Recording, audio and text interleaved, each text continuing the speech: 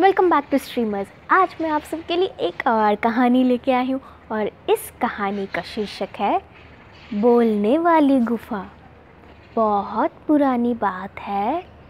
एक जंगल में एक शेर था। वो ना रोज़ शिकार करके ही खाता था। आज का दिन उसके लिए अच्छा नहीं गया। दोपहर हो गई थी, उसके पेट में छोटे छोटे चूहे कूदने लग गए थे। अब उसको भूख तो बड़ी ज़ोर की लगी थी। और वो ऐसे ही घूम रहा था, जंगल में ढूंढ रहा था अपना शिकार, पर उसको वहाँ कुछ नहीं मिला। खाली एक क्या मिली? गुफ़ा।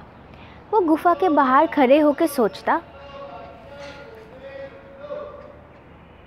इस गुफ़ा के अंदर अगर मैं घुस जाऊँ, इसका मालिक तो ज़रूर आएगा। वो जब भी लौटेगा मैं उसका शिकार करके खा जाऊँगा। यह सोचकर वो शेर उस गुफा के अंदर जाके बैठ गया। शाम हुई। सियार उस गुफा का मालिक था। सियार आता है। अब सियार अक्लमंद था। उसने क्या कहा? उसने देखा कि गुफा के अंदर पदचिन्ह जा रहे हैं, यानी कि पैरों के छाप। फुटप्रिंट उसके बाद वो फुटप्रिंट फुटप्रिंट को पहचानता है कहता है अरे ये तो शेर के फुटप्रिंट है। और ये कहाँ जा रहे हैं? ये गुफा के अंदर तो जा रहे हैं पर अं-, गुफा के अंदर से बाहर नहीं आ रहे हैं। तो वो थोड़ी देर बाहर रुकता है और अपने साथ सोचता है कि ये पैर अंदर जा रहे हैं और शेर के हैं। मतलब कि शेर गुफा के अंदर बैठा है।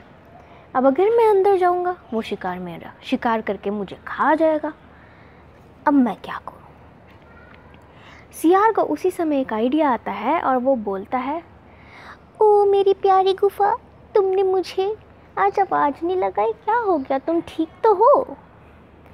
अब ये सुन के शेर सोचता है कि शायद मैं अंदर बैठा हुआ हूँ, इसलिए ये गुफा उसको आवाज़ नहीं लगा रही, लोज लगाती होगी। क्योंकि शेर तो पहली बार बैठा।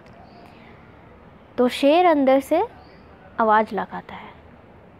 ओ मेरी प्यारी सियार, तुम आई। बहुत अच्छा लगा तुम आज वापस घर लौट आई अंदर आओ मेरी सियार, मेरी मित्र, अंदर आओ।